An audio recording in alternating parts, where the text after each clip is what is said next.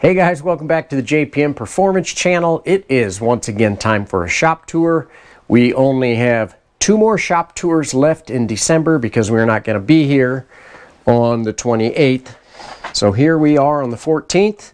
We'll do next week and I'll we'll kiss 2023 goodbye and then I'll see you guys in January. So we'll get right into the shop tour as you guys always know, there's always things flipping around. So right in the middle of starting the assembly on this, uh, it's actually an endurance engine. This is a B18 B1 engine. So non-VTEC B18 Honda engine. Now somebody, so the customers bought this bought this block from somebody and you can see, I don't know who it was, but somebody spent a massive amount of time polishing the outside of this block. They did the same thing with the cylinder head. So while I don't, I mean, there's nothing wrong with doing this. You're taking out some stress risers and things like that, and it looks kind of fancy and whatnot. I can't even imagine the amount of hours that somebody spent on this. So is it an okay thing to do? I guess if you don't have anything better else to do, but I wouldn't say that it's really necessary. But um, anyway, putting in some nice forged components, forged pistons, forged rods, you can see just in the middle of uh, working on uh, clearancing the rings for each bore, getting all that taken care of, and we'll be looking good. Did finish up uh, Doug Weaver's Quaife. I know we've been talking about, uh, I think last week it was just sitting in pieces over on the bench over there. Um, you can see it's completely assembled, Quaife close ratio transmission, gear set for his F Production Miata. Ready to go. Uh, we'll be seeing his car, I believe, sometime in January. He's going to bring it down, and uh, we're going to get this installed and do a couple other things on his car and uh, get him ready for the season as well. Did get uh, a new customer with a couple new engines. You can see I've got a bit of a pile here. These are Mazda MZR 2 liter NCs, and these are going to be getting built for the SMX class.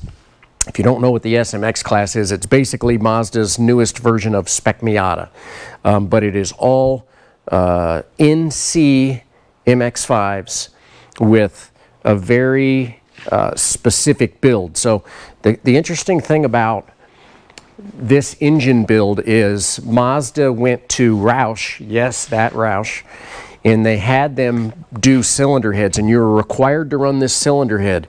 And the thing that is unique about these, as you can see in the ports, is these are all computer CNC'd. All of the porting is CNC'd. So that's the exhaust side. Take a look at this intake side. Every one of them are the same. They have a very specific uh, chamber volume and uh, these all come straight from Roush. You're not allowed to do anything to them except for obviously CC the combustion chamber to make sure that we get our correct head gasket thickness uh, for the 11 to 1 compression limit that we are required to run. So um, I've actually they, actually uh, come with some Mahle pistons and rings and uh, I've got two of those to build. I've got a customer in Kansas City who's building two cars for SMX. So he brought me their core engines. We're getting into that. Um, I've kind of got things kind of spread out all over. Did get another new customer in this week too. You can't see it in here, but inside of this box is John Sewell's STL B18C1 engine. Shout out to Mike Taylor for helping me sell these Honda motors. So Mike, uh, Mike ran his last year and is super fast. And uh, his buddy John came to me and we're going to do the same thing that we did for Mike and we're going to build another killer STL B18 VTEC engine.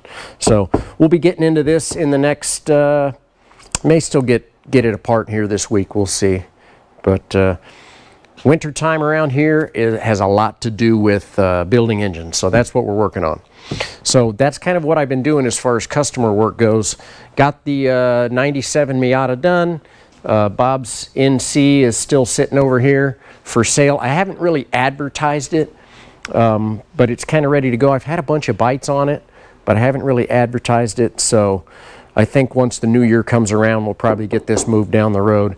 Uh, I've got Ken Kennard's engine laid out here. You can't really see it because I've got it all covered up, but got a head gasket ordered for him so we can get that back together. We're looking good over there.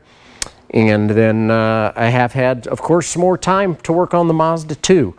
So last week we had talked about how I had the bearing problems um, and the hub failures. So we've got new bearings and the new hubs are installed. Just uh, waiting for a little more time to assemble all of this. Uh, but in the meantime, and it still looks messy inside the car, guys, but everything is wired. So I've got, you can see there's stuff everywhere. This is actually the antenna for the Flagtronics. You can see the Flagtronics is on. Um, I, I, need to start looming, but I didn't want to put anything together until we got kind of everything finished up. But one of the more important things that I did get done, you can see I've got the dash kind of configured here. Um, this is the LCU1, which after about 20 seconds will go to free air. That's what that just did. As you can see right there, that's 23.297 free air on air fuel. And I got the CAN bus from the Motec hooked up. So turn our ignition on and everything will come up on the dash. So we've got, this is the way I kind of like to do it. I've got water temperature, oil temperature. It's kind of good to see that they're identical. Uh, we've got oil pressure here, fuel pressure here, air-fuel ratio. And for right now, I've got predictive time and best time up on here. You can go through and change um, uh, different dashes. These things you can put like as many things on them as you want and you can log as much as you want. But I was very happy to get the CAN bus working and integrate it into the dash so I don't have to deal with um, separate sensors because I've already got all of those sensors going into the Motec, so why not just send it right into the dash? So actually looking really good here. Everything works. The last thing I need to do is finish up the exhaust. I've got my two oxygen sensors that are going to be going down through this hole that you saw a couple weeks ago.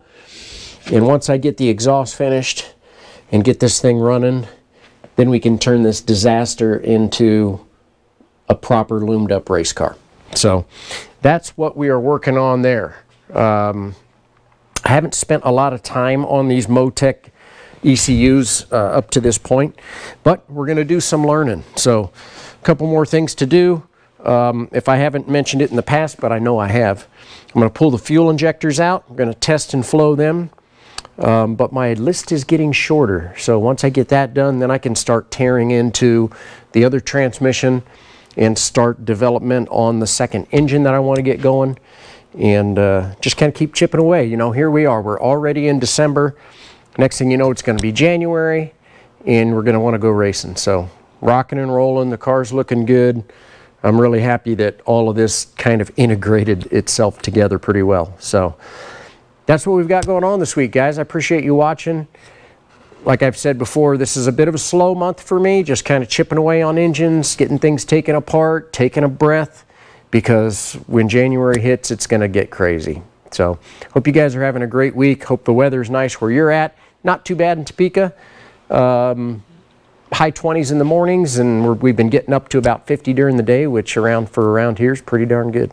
So take it while it lasts, because it won't last. So have, like I said, have a great rest of your week, guys. Thanks for watching.